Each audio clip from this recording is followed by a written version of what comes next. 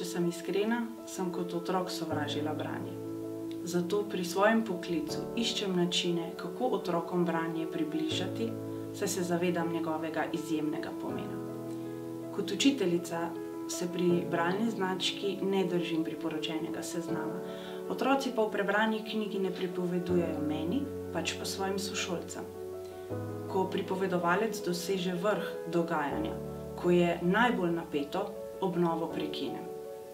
Tako med otroki ustvarjam zanimanje in jih spodbujam, da se o knjigi pogovarjajo.